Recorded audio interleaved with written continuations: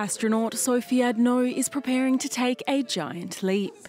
In 2026, she will fulfill her lifelong dream of space travel and become the second French woman to reach orbit. It's the realization of the dream I had as a little girl, who was inspired by all these space adventures since the first French astronauts.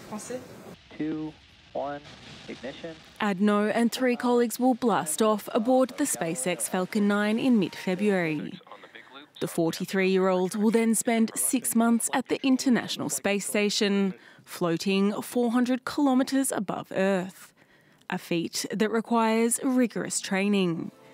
In 2022, the aeronautical engineer was chosen from more than 22,000 applicants to take part in the European Space Agency's new class of career astronauts. Since then, she has pushed her body to its limits through physical tests like survival training, high speed spins, pool tests, and parabolic flights to simulate weightlessness. She was the first French woman to become a helicopter test pilot, then the second French female astronaut after Claudie Haigneré.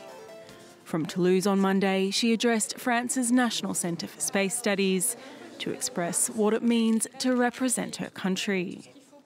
And it's important because we're taking a piece of France into space.